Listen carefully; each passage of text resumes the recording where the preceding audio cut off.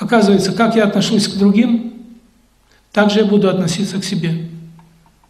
Это закон. Я был очень удивлен. Если я привык осуждать других людей, я буду осуждать себя. Потому что мы едины. Программа автоматически работает. Это так же, как я видел, когда жена в поезде описывал в книжке.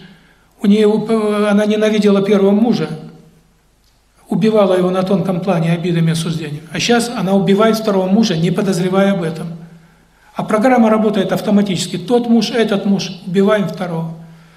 И тот болеет, умирает, не понимая, в чем дело. По большому счету, я, когда смотришь на тонком плане, то гигантское количество болезней, чуть ли не все, это результат того, что мы убиваем друг друга. Жена убивает мужа добросовестно, муж жену, они оба своих детей, а потом мы удивляемся, почему браки распадаются. Мы не умеем конфликтовать. Мы не умеем прощать друг друга. Мы любить разучились. Мы живем инстинктами, а инстинкт требует одного – отомсти, око за око.